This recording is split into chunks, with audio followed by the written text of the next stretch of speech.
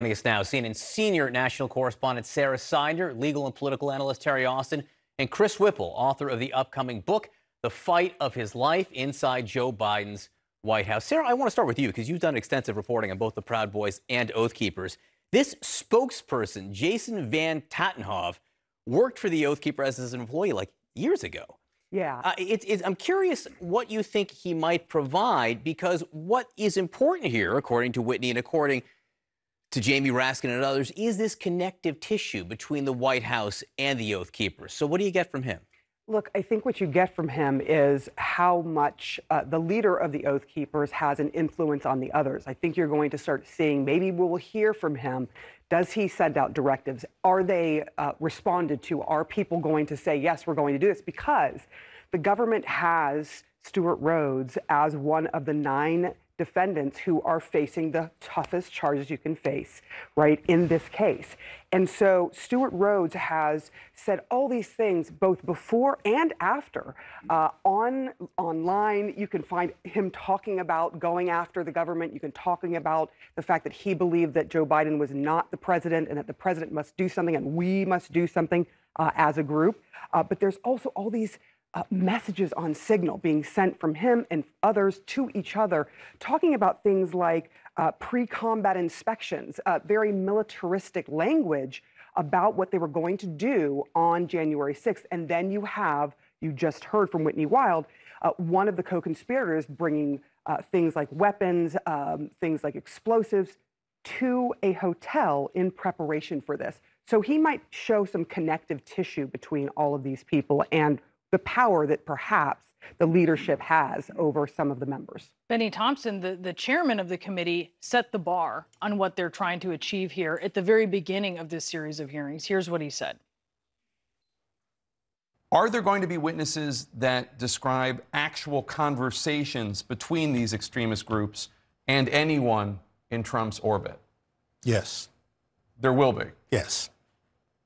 I, I, obviously, you'll have to go through the hearings, but uh, we have a number of witnesses who come forward uh, that people have not talked to before uh, that will document a lot of what was going on uh, in the Trump orbit uh, while all of this was occurring. Terri, how important is it that there's a strong link, that there's very strong coordination? It's a big, important issue because that is how the DOJ is going to be able to bring charges. What the Select Committee is doing now is gathering information. They themselves can't bring charges, but the DOJ can. And if we can establish a link between Trump, his aides, and all of the Oath Keepers and the other organizations who had these extremist acts, then we can probably bring charges against Trump and his aides. So they have to make those links. It'll be forensic evidence, it will be testimony, it will be videotapes, and all of that is going to help the DOJ bring charges. They can bring mm-hmm. seditious conspiracy charges, they can bring fraud charges. So there are a number of things they can do, particularly obstruction of a process, because they try to stop that electoral slate. So there's a lot they can do, and putting those links together is going to help the DOJ actually bring those charges. Chris, what do you think the committee needs to do tomorrow, and how often will we hear the name Roger Stone? well, I don't know about Roger Stone. But just think about Trump saying on national television about the Proud Boys stand back and stand by.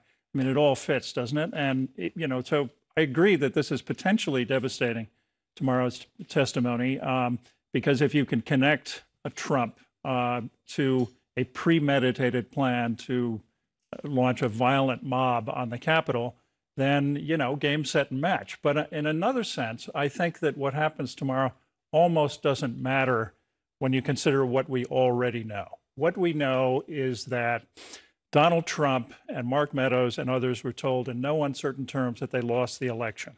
They went ahead and tried to subvert the election anyway. They, they launched a mob uh, to attack the Capitol. They knew the mob was heavily armed, and they didn't care how many people died. Now, I'm not a lawyer, uh, but I think I do know something about previous presidential scandals. And compared to this, you know, Richard Nixon and H.R. Haldeman, their crimes look like parking violations. Like parking violations. That's saying something. I want to talk about Steve Bannon because we learn now that he's willing to testify. We should be very clear because he says he's testifying because uh, Donald Trump has told him that he's waiving privilege, executive privilege, that to be clear, actually never pertain to him. I'm right? waiving the right to dunk a basketball. I can't dunk a basketball. It's the same thing. That's like the legal analysis. It's sort of like if there was no basketball, Right. though, right? At all. Um, and uh, yes, Yeah, it's fascinating and it's also preposterous, as you say. I mean, Trump had absolutely no authority to waive executive privilege. Bannon didn't, wasn't working at the White House.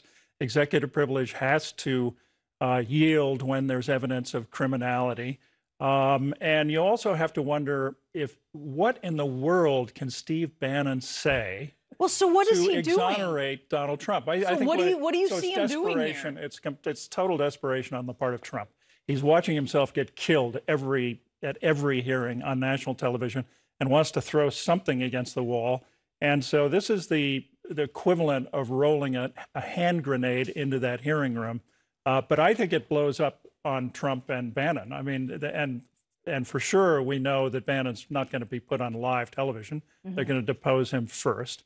So it's it's really you know when I heard it, I thought of the old McEnroe phrase: "You cannot be serious." Why why are they sending Steve Bannon in?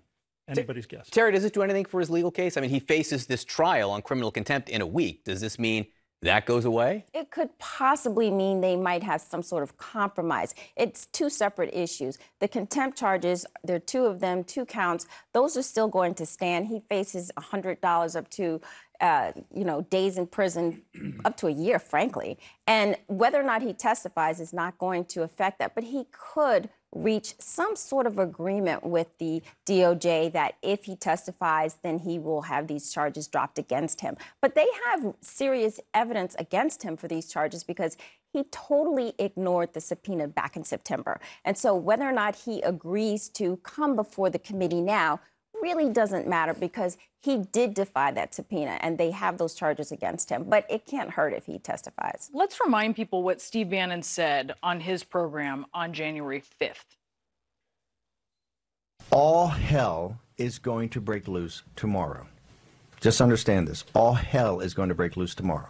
It's not going to happen like you think it's going to happen. Okay? It's going to be quite extraordinarily different. And all I can say is strap in. The War Room, a posse. You have made this happen, and tomorrow it's game day. So strap in. I mean, Terri, he's going to be asked about that. How do you see that going down? Absolutely. And he wants to testify in public, but he better testify behind closed doors because the answer to that question is really going to implicate him. And he may just very well take the fifth. He knew something was going to happen. What was he talking about? And that's exactly what the committee wants to know. He knew that people were probably bringing weapons. He knew that people were going to go to the Capitol. There was going to be an insurrection. And he's going to have to come up with an answer. And that answer is definitely going to implicate him. So I think we're going to see him talk about some issues that don't implicate him. But for other issues, I do think if he does testify, he's going to have to take the fifth. Sara, let's go back to what we're going to see tomorrow and this testimony surrounding the Oath Keepers and this idea of the connection. You've done reporting on the Oath Keepers. What were they doing in Washington around those days? Who were they with? We know they were near around Roger Stone. What does this all lead to? Yeah, I mean, it is, again, they're looking for connective tissue. Uh, they're looking for direct connection between groups like the Oath Keepers and the Proud Boys. And there is some video evidence that we have all seen of uh, members, especially one member who is charged in this case of seditious conspiracy, who is standing right there with Roger Stone, um, Robert Minuta. And, and all of these people who have been charged, by the way, have pleaded not guilty. But there are three members of the Oath Keepers who have pleaded guilty to seditious conspiracy, the strongest charge that has been brought um, by the federal government. And so it's interesting because I'm sure they're getting some information potentially from those people who pled, um, but it's the connective tissue and whether or not they can prove that there was direct connection between uh, people like Roger Stone to the White House, to the Oath Keepers, to the Proud Boys, telling them what to do or where to go, or that they knew of their plans um, and did nothing or were encouraging their plans. Um, it's very interesting um, that Bannon, by the way, just going back to him, that, you know, it's what, about a week until there's supposed to be a jury selected for his case. Um, that seems a little suspicious if you look at it on its face.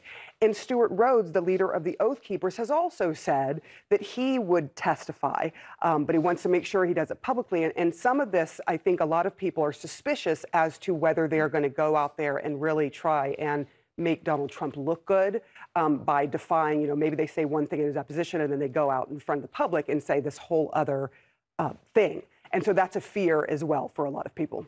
Right, Sara, Terri, Chris, thank you all so much for being with us this morning.